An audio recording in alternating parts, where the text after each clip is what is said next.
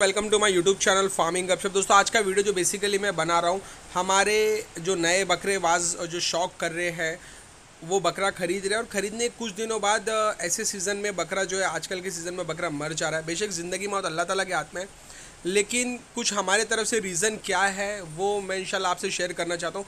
इसमें सरासर ट्रेडर्स की भी कुछ गलतियाँ हैं, ठीक है? कुछ गलतियाँ है, ज़्यादा नहीं, ठीक है? हमारी भी गलतियाँ है, कुछ ट्रेडर्स की भी गलतियाँ है। मेरा भी एक बकरा भी रिसेंटली मर गया है।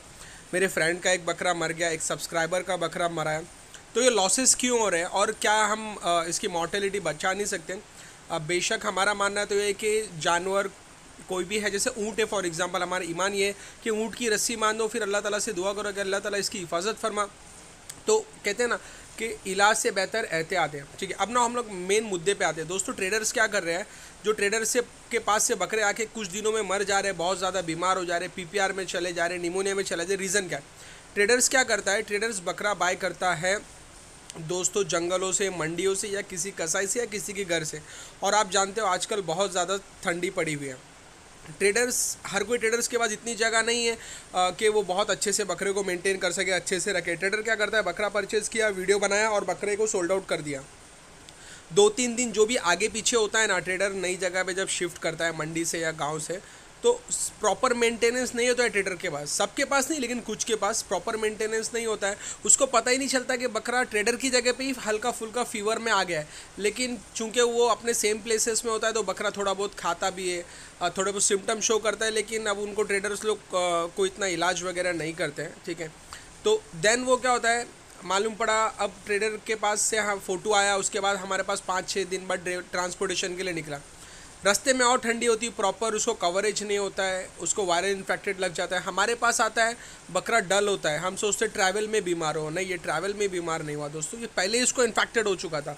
ओके फिर हम क्या करते हैं? हम, हमारे से अब जो गलती होती, हमारे पास जब बकरा है तो हमें ये चाहिए कि पंद्रह दिन तक उसको कोई भी किस्म का अनाज ना दें। हम लोग क्या करते हैं? बकरा आया, देखते हरी पत्ती, भूसा कुछ भी नहीं खा रहा है या ज़्यादा कमज़ोर दिख रहा है, हम दूसरे तीसरे दिन से उसको अनाज दे देते बकरा स्ट्रेस में होता है डाइजेशन नहीं कर पाता है ब्लोट होती है, गैस होती है, बकरा मर जाता है। सेकेंड रीज़न वायलर इन्फेक्शन होता है, या उसके लंग्स इन्फेक्टेड होते हैं। हम, हमारे पास जब बकरा आता है तो हम में से बहुत से लोग बोलते हैं, अरे नहीं, ज़्यादा दवाई नहीं पिलाना चाहिए, वरना इसकी किडनी ख़राब हो जाएगी। अरे भाई, किडनी तो बाद में ख़राब होगी, निमोनिया वायरस उसको इन्फेक्टेड हो जाएगा, सांस नहीं ले पाएगा बकरा और वैसे ही मर जाएगा। तो हमारे पास तो ये है कि जैसे हमारे पास बकरा हमको एग्जामिन करना चाहिए कि बकरा क्या कंडीशन में, बकरा में क्या रिस्पॉन्स कर रहा है। तीन दिन तक दोस्तों, मैं क्या करता हूँ, मैं आपको, मैं बता रहा हूँ, मैं जो करता हूँ, मैं कोई डॉक्टर नहीं हूँ, लेकिन मैंने डॉक्टर से पूछ के जो मैंने किया है डॉक्टर से रिफ़र करके। मेरे पास जैसी बकरा आता है, पंद्रह दिन तक मैं बकरों को अनाज नहीं देता हूँ। उसकी उनकी कंडीशन देखता हूँ उसके बाद डॉक्टर से पूछकर एंटीबायोटिक और पेन किलर सुबह शाम दस दस घंटे के गैप में उनको खिलाता हूँ। सुबह बक जैसी बकरा आया एक घंटा रेस्ट देने के बाद मैं बकरों को जो है वो भूसा देता हूँ ठीक है? भूसा देने के बाद आ, उनको थोड़ा सा गुड़ का पानी होता है ना ठीक है, गुड़ और हल्दी का पानी, उनको ये पिलाता हूँ थोड़ा सा उसके बाद तीन चार घंटे बाद फ़र्स्ट डे में हम क्या करते हैं, उनको हरी पत्ती देते हैं और शाम के बाद, रात के बाद बड़का पत्ता देते हैं। सेम रूटीन हम लोग जो तीन चार दिन तक करते रहते हैं। फिर उसके बाद हमारे जैसे अदर बकरे हैं, उन बकरों में उनको सेट करते हैं, लेकिन यस उनका ग्रेन स्टॉप रखते हैं। उनकी डाइट आके स्लो स्लो स्लो स्लो फिर हम बढ़ाते, लेके जाते हैं। उससे क्या होता है, तीन दिन तक हम पेन किलर एंटीबायोटिक देते हैं और साथ ही साथ हम लोग जो है ना, बकरों को एक टाइम जो है ना दोस्तों, हम लोग उनको मल्टी विटामिन की जो लिक्विड होता है ना, वो पिलाते थे। अल्हम्दुलिल्लाह, हमारे पास बकरे बरसात में भीगते हुए आए, कट्टू की गाड़ी में ट्रैवल करके आए, फिर भी सर्वाइव कर जाते थे, ठीक है? तो ट्रेडर से भी रिक्वेस्ट है, अगर आपके पास बकरा है, अगर कुछ सिम्टम दिखा रहा है दोस्तों तो उसको थोड़ी सी दवाई दे दो ओके ऐसा नहीं कि पैसा कमाने के लिए दो चार हज़ार रुपये कमाने के लिए, आपने डायरेक्ट कट्टू की गाड़ी में ट्रेन में लगा दिया और अगले के बाद जाके मर रहा है बकरा। तो ऐसा मत करो, ऐसे बकरे मरते रहेंगे, ना तो लोगों के शौक ख़त्म हो जाएँगे। तो अगर आपके पास बकरा बुखार दिखा रहा है प्लीज़ उसको बुखार का ट्रीटमेंट करो।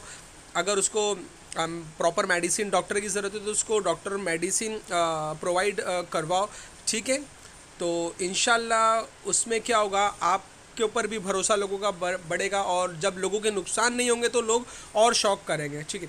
इसके बाद मैं इंशाल्लाह एक और एक वीडियो बनाने वाला हूँ कि ठंड में प्रॉपर तरीके से बकरों का एहतियात कैसे करें। ये तो मैं बता रहा हूँ कि आने के बाद बकरे मरते क्यों हैं? गैस हो जाती है, निमोनिया वगैरह क्यों पकड़ता है? हमारे में क्या लापरवाही ट्रेडर की तरफ़ से हो रही है और हमारे में क्या लापरवाही हम जो कस्टमर है ओनर है, हमसे हो रही है। तो प्लीज़ दोनों से रिक्वेस्ट है इनिशियल स्टेज में बकरा जैसी आपके पास आए, चाहे ट्रेडर चाहे कस्टमर उसका दवाई इलाज करो। नहीं समझते आते हैं, मुझे कॉल करो इंशाल्लाह हेल्प करो।